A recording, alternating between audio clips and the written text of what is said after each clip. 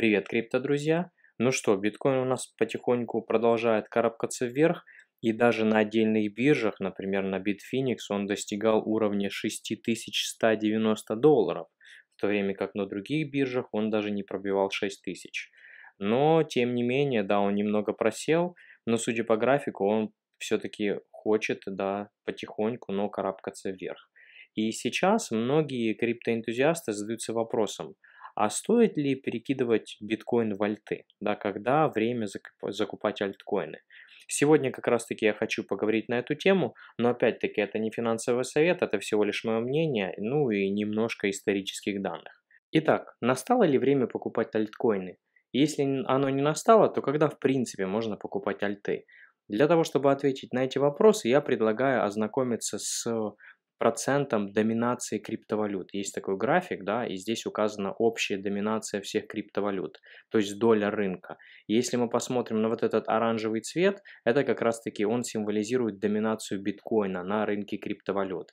Если мы посмотрим ниже, то мы можем заметить другие альткоины, да, например, вот светло-голубым цветом это Ripple, да, например, вот темно-синим, практически фиолетовым цветом это график эфириума, а, например, остальные альткоины, да, соответственно, это вот этот вот белый цвет.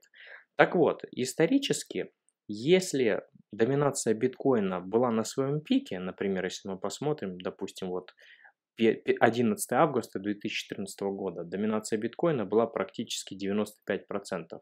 Вот как раз таки на пиковом значении а, доминации биткоина все остальные альткоины были в очень серьезной просадке. Но как только пиковое значение начинало, начинало спадать, да, вот, например, мы посмотрим 22 декабря 2014 года как раз таки доминация биткоина упала аж до 78%, но при этом альты очень сильно выросли, и мы можем посмотреть, да, здесь вот такая вот гора образовалась альтов, и, соответственно, их капитализация очень сильно увеличилась, потому что капитализация альтов она была относительно маленькая, ее бы, их было очень легко пампить.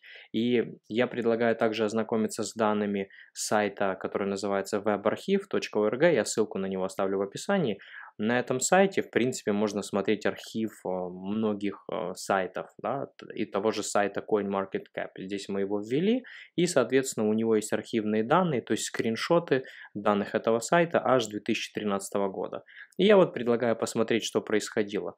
Так, что у нас? У нас, получается, было 11 августа 2014 года, и у нас было 22 декабря 2014 года. Так, не всегда можно найти именно 11 августа, я нашел именно 19 был скриншот. И вот мы можем посмотреть, что 19 августа стоимость биткоина была 483 доллара.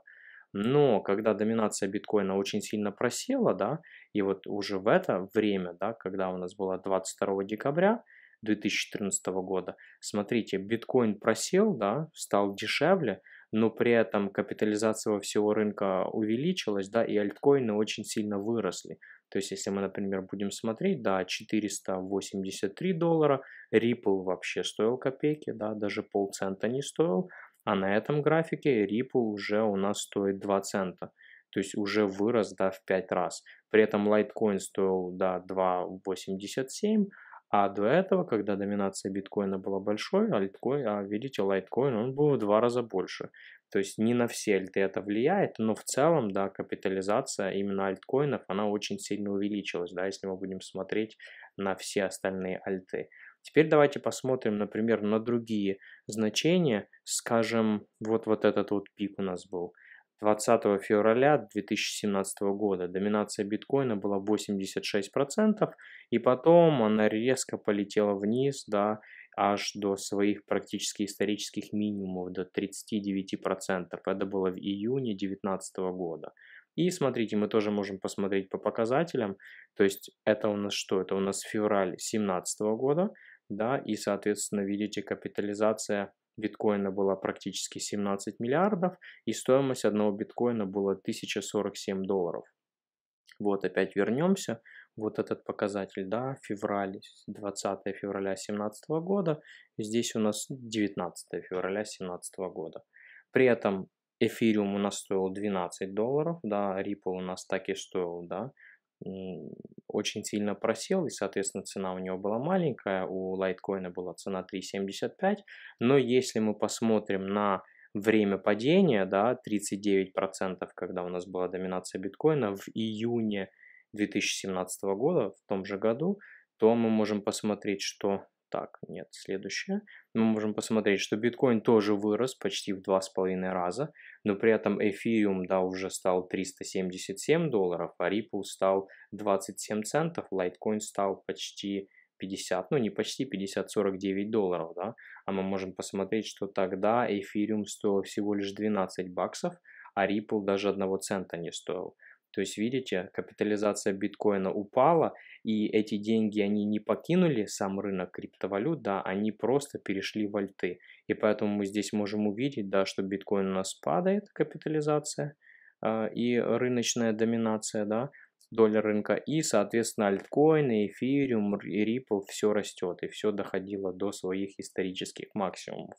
Теперь мы можем посмотреть на еще один вариант, да, это у нас было 4 декабря 2017 года, когда доминация биткоина опять выросла практически до 60%, да, вот у нас это значение, 5 декабря, биткоин уже стоил практически 12 тысяч долларов, да, при этом эфир 465, биткоин кэш, да, Ripple и так далее.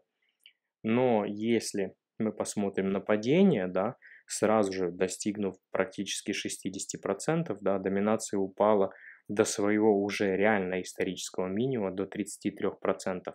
Но при этом мы можем посмотреть, да, что альткоины вместе с эфиром, да, и с другими, да, альткоинами очень сильно выросли. И мы можем посмотреть, что эфир тогда доходил у нас, да, до аж 1200 долларов, биткоин кэш практически 3000 долларов, да, кардана уже потом появилась, лайткоин практически, да, 300 долларов и так далее.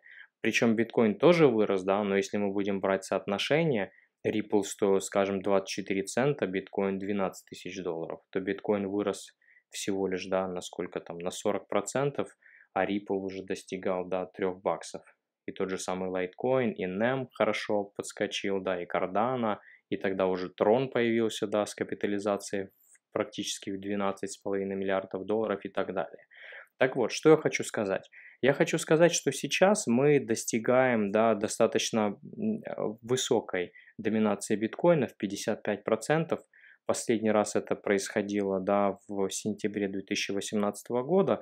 Что касается сейчас, мне кажется, что ралли биткоина у нас будет продолжаться, да, потому что в биткоин начинают вливаться деньги. Но по моему мнению, опять-таки это всего лишь мое мнение, когда мы достигнем вот, вот этих вот 60% да, а, предыдущих пиков, то тогда мы можем видеть очень сильный спад доминации биткоина и деньги просто начнут перетекать в альты. Поэтому, в принципе, да, можно ожидать очень хороший памп всех альткоинов. Скорее всего, это будет ближе к лету, да, может быть, к середине лета, а может быть, к осени. Но опять-таки, это всего лишь мое мнение. И почему исторически это будет происходить? На это есть две причины. Первая причина – это то, что альткоины, они не потеряли свою фундаментальную ценность. Многие альткоины даже увеличили свою фундаментальную ценность, потому что многие проекты начали запускать свои основные сети, да, начали появляться партнерства, то есть это не просто были белые бумаги с идеями, то есть уже у многих проектов уже есть реальные продукты, либо другие проекты уже приближаются да, к релизу своих реальных продуктов. Ну и второй да, случай, вторая причина, которая, по моему мнению, считается самой главной, это то, что абсолютно все на этом рынке хотят увеличить количество биткоина в своем портфеле. А как это сделать? Просто пампить другие альты. И опять перекидывать в биткоин. Вот таким вот образом работает этот механизм. Ну что, ребята, я надеюсь, вам понравилось это видео, просто мое мнение. Пишите, что вы думаете по этому поводу. Да, еще раз спасибо за просмотр. Обязательно подписывайтесь, лайкайте, комментируйте. Да, все как обычно.